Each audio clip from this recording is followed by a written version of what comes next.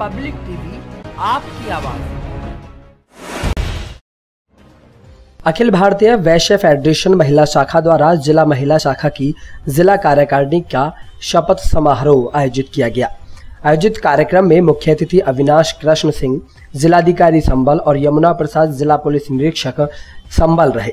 कार्यक्रम को स्मृति युक्त बनाने के लिए राष्ट्र को समर्पित देश की थल जल वायु सेना के सैनिकों का सम्मान आयोजित किया गया। आयोजित कार्यक्रम में तीन प्रकार के सम्मान दिए गए, जिसमें मातृ शक्ति राष्ट्रभक्ति सम्मान, जिसमें देश की रक्षा करते हुए जो वीर सैनिक वीर गति को प्राप्त हुए हैं, उनका पुण्य स्मरण करते हुए उनके पूजनीय परिवार की माता, बहन, बेटी को यह सम्मान प्रदान किया गया।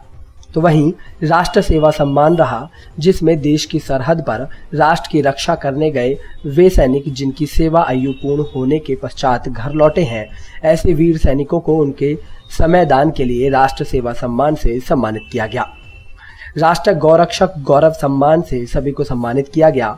वर्तमान परिदृश्य में देश की सीमाओं पर देश की रक्षा का संकल्प लिए कार्य कर रहे वीर सैनिकों को राष्ट्र रक्षक गौरव सम्मान से सम्मानित किया गया।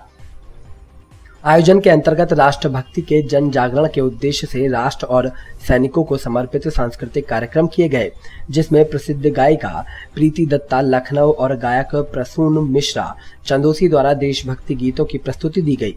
नगर चंदोसी के प्रतिभावान गिटार वादक अर्पित सिंह द्वारा गिटार से देशभक्ति के स्वर निकाले गए। गायन और वादन के क्षेत्र में उपलब्धियों के लिए इन्हें स्वर साधक सम्मान से सम्मानित किया गया। देश में प्रसिद्ध और प्रतिष्ठित लवकुश डांस एकेडमी की प्रतिभावान छात्राओं द्वारा राष्ट्र और सैनिकों को समर्पित नृत्य किए गए। नृत्य की इस विधा के लिए इन्हें नटराज नृत्य सम्मान से सम्मानित किया गया।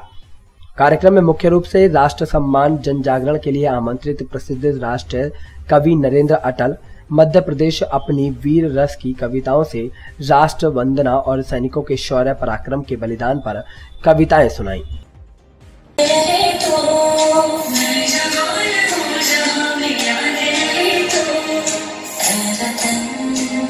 मेरे वतन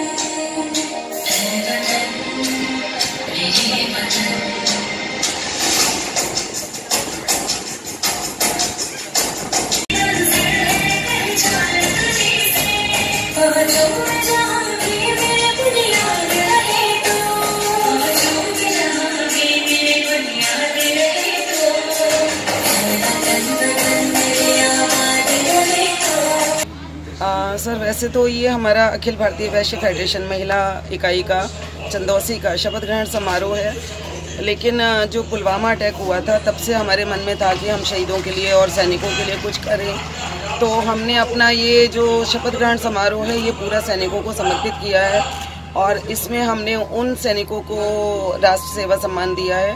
जिन्होंने अपना पूरा जीवन जो है अपने देश के लिए समर्पित कर दिया और कुछ लड़ाइयाँ भी लड़ी उन्होंने। आ, हमारे जो बीच में कुछ आ, सैनिक हैं उन्होंने सन बासठ की लड़ाई आपके मन में कहाँ से ख्याल आया कि एक फौजी के लिए सम्मानित किया जाए? आज तक किसी के विचार नहीं आया और ऐसा किसी ने सोचा भी नहीं आज तक। आपके मन में कहाँ से विचार आया ऐसा था कि जो पुलवामा अटैक हुआ था तब से मेरा मन बहुत ज़्यादा व्यथित था।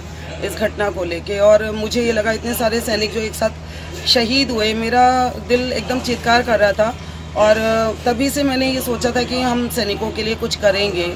तो बस ढूंढ रही थी कि मैं क्या मौका ढूंढ रही थी कि मैं क्या करूँ, कब करूँ।